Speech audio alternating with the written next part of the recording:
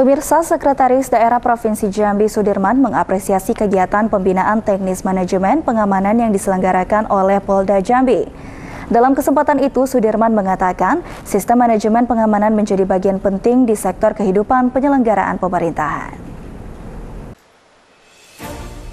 Sekretaris Daerah Provinsi Jambi Sudirman secara langsung menghadiri kegiatan pembinaan teknis manajemen pengamanan gangguan Kamtipmas yang diselenggarakan oleh Polda Jambi bertempat di sebuah hotel di Jambi pada Rabu 15 Maret 2023. BIMTEK ini bertujuan guna mewujudkan sinergitas dalam mengantisipasi gangguan Kamtipmas dan juga pelanggaran hukum menuju Kamtipmas yang kondusif. Dalam kesempatannya, Sekda Sudirman mengapresiasi kegiatan ini karena sistem manajemen pengamanan menjadi bagian penting di sektor kehidupan penyelenggaraan pemerintahan.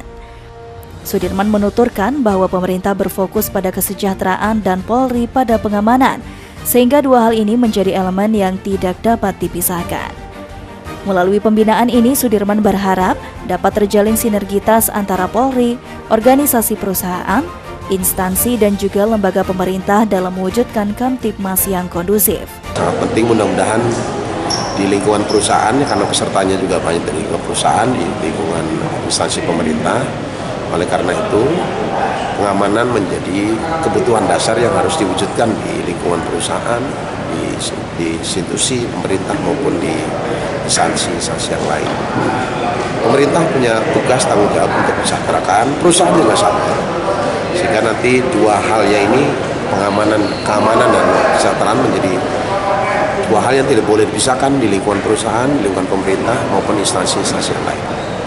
Selain itu, Sudirman juga berharap kegiatan ini dapat membina seluruh elemen baik pemerintah, kepolisian, stakeholder, dan masyarakat dalam mencegah, menangkal, dan menanggulangi segala bentuk kejahatan yang dapat meresahkan masyarakat. Rian Cencen, Jack TV, melaporkan.